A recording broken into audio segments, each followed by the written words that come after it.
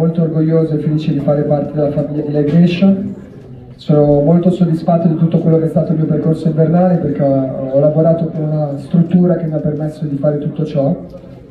Come diceva prima Corrado, abbiamo avuto il desiderio di ampliare lo spettacolo agli Days con degli artisti internazionali perché Live Nation ha reputato internazionale il mio spettacolo Abbiamo preso, vi do questa curiosità, la scelta di fare due date direttamente per il motivo che ci piaceva avere uno spazio circoscritto per poter esprimere al meglio il mio spettacolo a livello di grafiche e scenografie che sennò sarebbe stato un po' più dispersivo.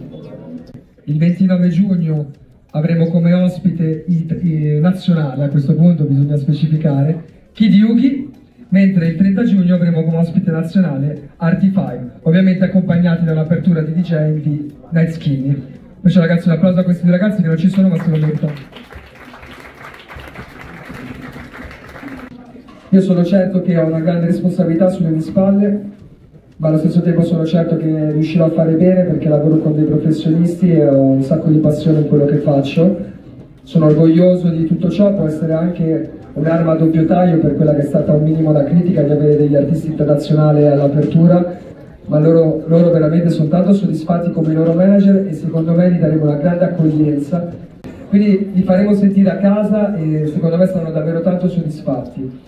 Che altro dire? Io voglio di spaccare tutto quanto, mi sto preparando, quindi sono a, a dieta, ora inizio ad allenarmi, le lezioni di canto, non fumo, quindi davvero venite perché darò tutto me stesso in poche parole. Concludo sdrammatizzando dicendo che Corrado sta anche sentendo gli addetti tecnici del cielo e non dovrebbe piovere per il 29 e il 30, quindi la Ignition ha tutto sotto controllo, non temete.